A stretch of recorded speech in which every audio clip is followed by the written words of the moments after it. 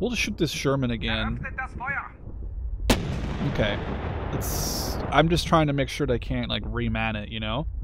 Alright, howdy gents. Welcome back to another episode of The Troop. I've been really, really enjoying this game that kind of came out of nowhere, and judging off your comments, you guys have also really been enjoying it. We're going to be playing the no further scenario as the German small German unit is tasked with defending this town with a mechanized British force attacking it.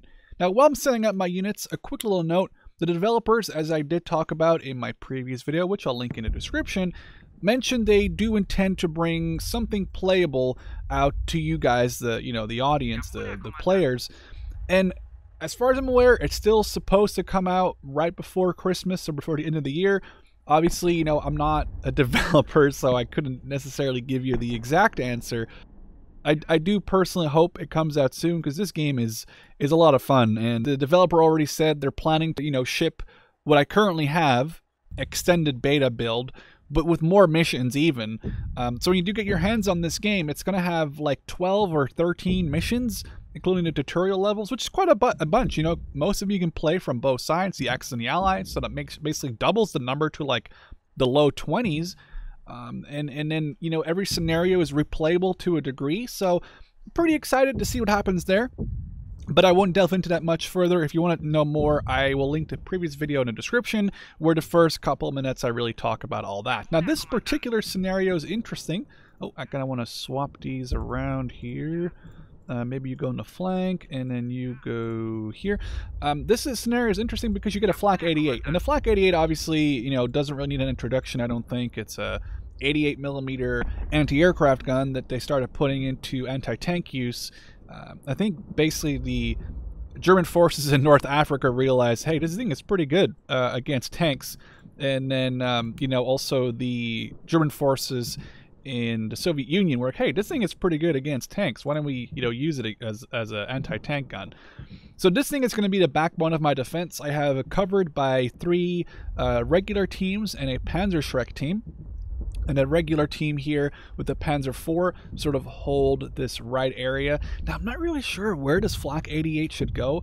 I'm thinking, see, because right now we can see its line of sight is pretty all right, but it's not great with basically no line of sight over here and, uh, well, very, very weak line of sight over to the far left. So we could relocate it, but I feel like the more I try to try to locate it away to give a different angle on the sides, we kind of lose that main road angle. So maybe we just want to put it as far as back as possible. I want to cover this main road, but then we lose all the coverage on the flanks. This is really a messy sort of situation we're in. There's a lot of options we can put this down. Actually, this might not be a bad spot now I think about it. Ooh, okay. Yeah, I'm we'll we'll play that one. A little aggressive. I like it. I like it. We're going to see how this one goes. We're going to go into deployment. Now, people were confused about this in the previous video, and, you know, fair enough. I do not intend to skip any more of the turns. I can click left mouse button, and then units will skip to their location or their position, right? Now, people seem really confused by that, and a lot of comments seem to maybe not be huge fans of this, so fair enough. I'm not going to be skipping any more of the unit movement uh, just to make it look maybe a little more fluent instead of having the units going to skip across the screen, um, so to say. So I think what we're going to do here is maybe sort of, I don't want to necessarily aim at this infantry, but maybe we'll like aim in front of it over here. And then with the Panzer, why don't we aim at this open spot? Because I'm assuming any armor that goes through has to go through this one hole. There's no other way for them around unless they go all the way over here. So we're going to pre-aim at this spot, pre-aim at this spot over here on the road. My goal here is, I think, to not engage anything unless either it's spotted. So when they spot me, I obviously should engage it. Or when there's the one chance of the battle where I can do the ambush thing, because currently my units are hidden. Um, I want to get that first shot on an enemy unit and knock them out. Now, this Sherman pushing in the middle is an issue because my Panzer IV on the right, nor my flak gun, I think, are going to have eyes on that thing. Now, the scout car with the infantry inside is pushing up. So the Sherman in the middle, I'm not sure. I mean, even my Panzerschreck team is a little far off. Potentially I could run it around, but Let's take a look here at the line of sight tool. Yeah, so this is bad. Okay, the flak gun, it could potentially aim at it, but only at a 33% chance. Why don't we sort of pre-aim here, hope that it doesn't go any more north than that, and then we'll hold our fire for one more turn. We'll let our Panzerschreck deal with this half-track, and I think we're going to see what happens here. This will be interesting. I'm assuming they haven't spotted my flak yet, just because it's in cover and concealment. But let's find out here. Infantry. Oh, they're going to get really close to my flak. These guys will probably have to be machine gunned soon. Uh, okay, here comes another squad of infantry next to the Sherman. And then there's... Okay, there's another Sherman on the flank. Ooh, that's not good. It looks like it's currently almost kind of behind that those thick hedgerows there, but... Oh, please don't move. I think it's moving exactly... Oh, it's moving. It's definitely moved closer, I think, than to where I was aiming. I don't know if my flak can engage that. And it looks like the scout car is following the Sherman on the far left for a flanking maneuver. That's a large turn. You see how many spaces that just was? And then we have some infantry backing up that Sherman in the middle. The infantry I'm not worried about. Another Sherman, though, that I am pretty worried about. That's two Shermans in the middle, one on the left, a scout car on the left. So how are we going to deal with this? 48% is really not that good, too. So what I'm thinking is that we maybe advance our Panzer IV to here. And then aim our turret there, and then hold. We're not going to engage or shoot anything. We're just going to hold it here. I'm assuming it's still hidden. And then let's take a look here. What is the chances of it? 60% isn't horrible. And your chance, yeah, your chance was only 48. That's not very good. Maybe we'll pre-aim... What's our line of sight? Okay, we're going to have to aim this way. But I don't know if it can. Nope. That's all the points. No more aim. Oh, no, wait. Okay, no, aimed a little bit. We aimed it a little bit over, so we're still going to have to do a lot of re-aiming there. I think we're going to end the turn, and hopefully they don't spot any of my units, so we can do still. I would love to knock out two out of their three tanks in one turn between the Panzer IV and the Flak slash the, the Panzerschreck team. But they're so close. This, these guys are four tiles away from my flak gun. I'm surprised I haven't seen it yet. Okay, there's infantry moving on the left still. And then there's like, what, two squads over here or two teams over here with infantry. We got those two Shermans in the middle over there. I mean, they're just pushing up. But the more the closer they get towards my infantry, um, all my infantry besides the Panzer Panzerschreck team does come with an MG uh, 34 or 42, so at least we'll have some, pardon me, we'll have some decent firepower, but, you know, oh, the scout half-track, or scout car is reversing back onto the street. I'm starting to think if I should have maybe used my Panzer Panzerschreck on that Sherman on the flank there. And here comes the Sherman movement. Now my flak is in a really awkward spot because it has to turn all the way around and by it'll just not have the accuracy. Like it'll have a horribly accuracy debuff probably as it tries to engage this Sherman. Yeah. It's going to have horrible... Okay, well... Might as well sort of pre-aim here. Let's pre-aim at the Sherman and see what the chances are. That's not bad. That's actually not bad for a movement I just made. And then I wonder if my I wonder what the chances are. Okay, they're not they're all right. Um oh, 76%. That's actually not bad at all. You could hit this squad for it with a rocket, which would be hilarious, to be honest with you. Okay, so why don't we try... Almost clicked fire. That would have been really awkward. Can we see this Sherman from here? Advance. Aim turret.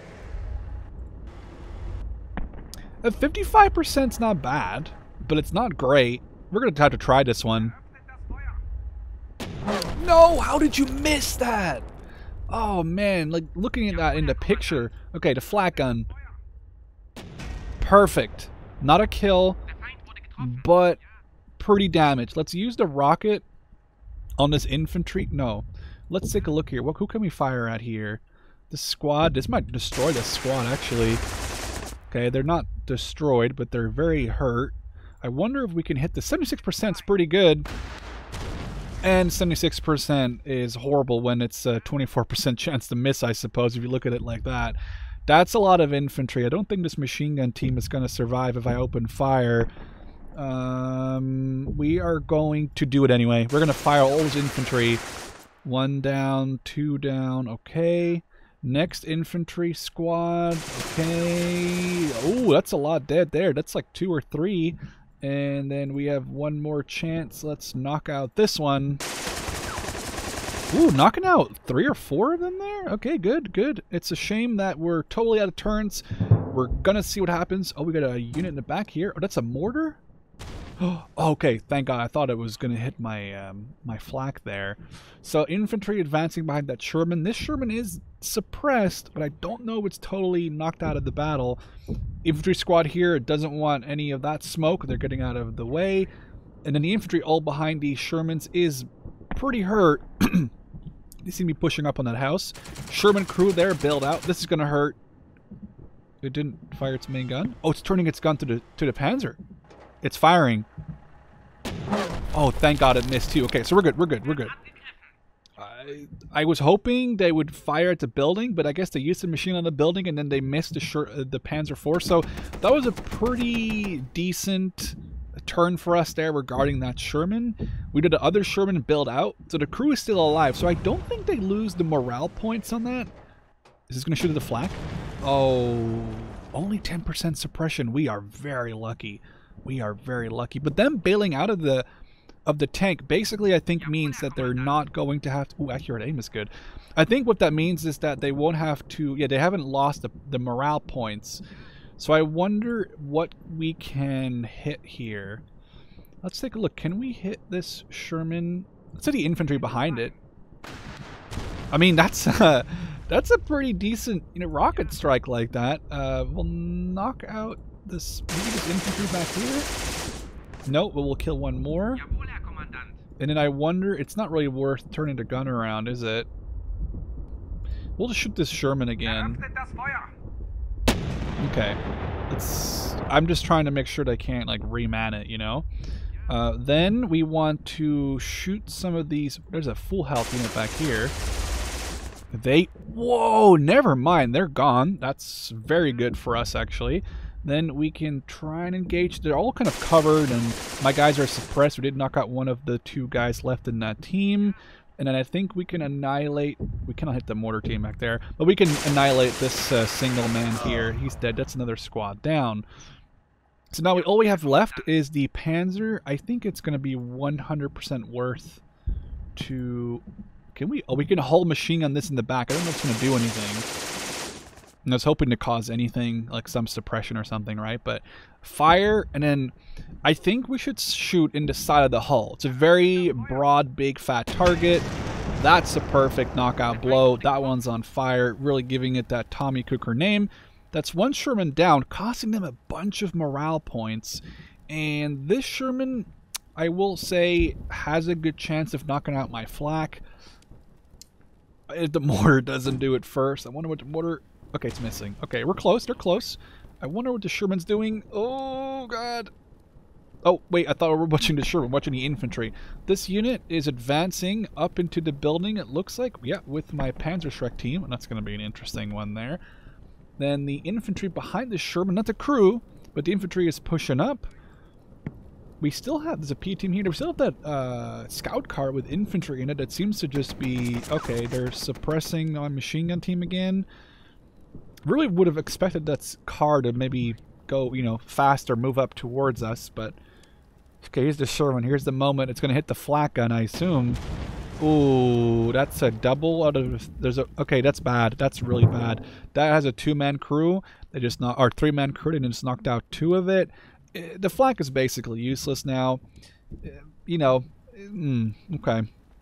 But the thing is, what we could do is I wonder if we can advance and then aim the turret 70% is not bad. Let's actually knock out some more infantry while we have the chance to do so.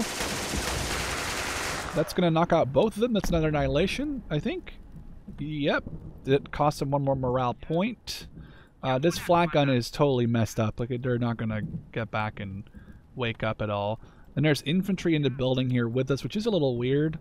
Um, can't really do much about that. We can do this. That look, didn't look bad. Don't know what... Nothing really happened there. It just seems that they just gave them some suppression, so that was maybe not the most effective. We can knock out a squad of infantry here, giving them just one morale point left. So if they lose one more squad, this game is over. Now, instead of engaging the infantry there, I think what we're going to do, we're going to engage this Sherman with a shell. This looks... So, I love the camera like that. That is awesome. That is gonna be dead. That's their morale points gone. And we really didn't lose a lot of... Did we even lose a full squad? I don't think so. I mean, the worst thing that was hit was the flak. So a pretty decent battle. I think this really, again, shows that what is more important in the troop as a defender is to hold your fire until it's time to ambush and then knock out as many units as possible. Now, what we're going to have to do in the future is try this battle on the attack, but for now, I hope you guys enjoyed, and I'd love to see you in the next one. Cheers!